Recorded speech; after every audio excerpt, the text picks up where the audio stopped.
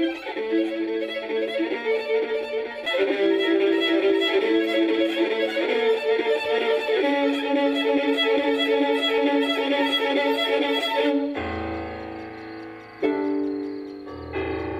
ugye szeretnénk már a koronavírus viszontagságait a hátunk mögött tudni. Ennek jelképeként egy nagyszabású koncerttel várja az érdeklődőket a Zsámbéki Romtemplom. A részletekről legyen szíves beszámolni, polgármester. Kicsit messzebbre visszanézve itt az elmúlt eh, hetekben azért történtek már kisebb volumenű rendezvények. Ennek nagyon örülünk, hogy újra beindult a mozgás ebben a tekintetben, tehát mind idegenforgalmi, mind kulturális téren. Kisebb koncertek, ugye gyereknap, hősök napja, tehát kisebb rendezvényeink már voltak.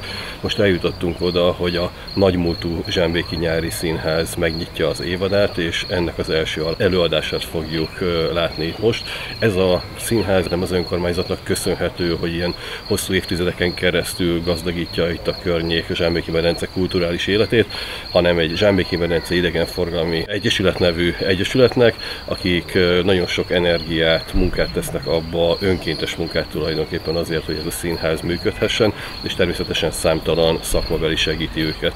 A nyitás után milyen programokat terveznek? Mi beállunk azokra a rendezvényekre, amelyeket már korábban is megszokhattak itt Zsámbékon. Ugye az önkormányzati vonalon a legnagyobb volumenű rendezvény az a Bodza Fesztivál. Ez június második hetében kerül megrendezésre normál esetben. Idén ezt áttettük szeptemberre, de itt a, ha nem is a Romtemplomban, hanem az Icsi Kastély belső udvarában ez a nyári színház most már hétről hétre gyakorlatilag újabb előadásokkal fogja megörvendeztetni az ide látogatókat.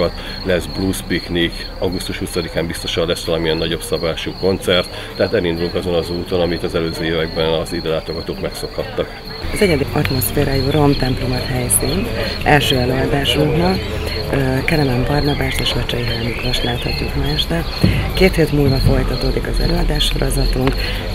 Azok az előadások már a felújított Zicsi kastélyban lesznek.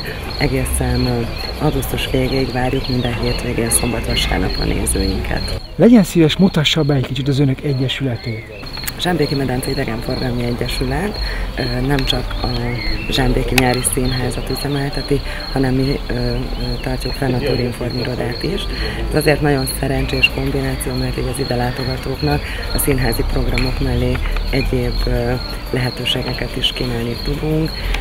Természetesen a Rom templom, a Lámpa Múzeum, a Tájház, vagy például a tűzoltó kiállítás mellett érdemes ellátogatni a közeli településekre is. Az irodánkban ezekre a helyszínekre is kínálunk prospektusokat, térképeket, mindenkit sok szeretettel várunk a Turinform irodában is.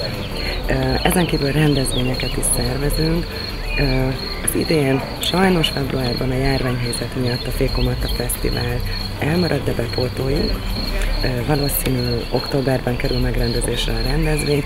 Most nem télűzés lesz, nem poszolkányt fogunk égetni, de, de nagyon hangulatos vásári karnevállal forgatanggal, természetesen óriásbábokkal és új boszorkányokkal fogjuk várni a nézőinket.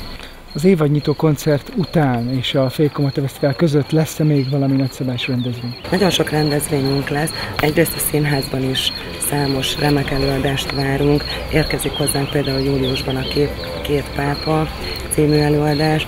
Nagyon sok koncertünk, zenei programunk lesz. Úgy állítottuk össze a műsor struktúrát, hogy minden korosztály és minden műfajt kedvelő megtalálja az érdeklődési körének megfelelő előadást. Bábszínházunk is lesz.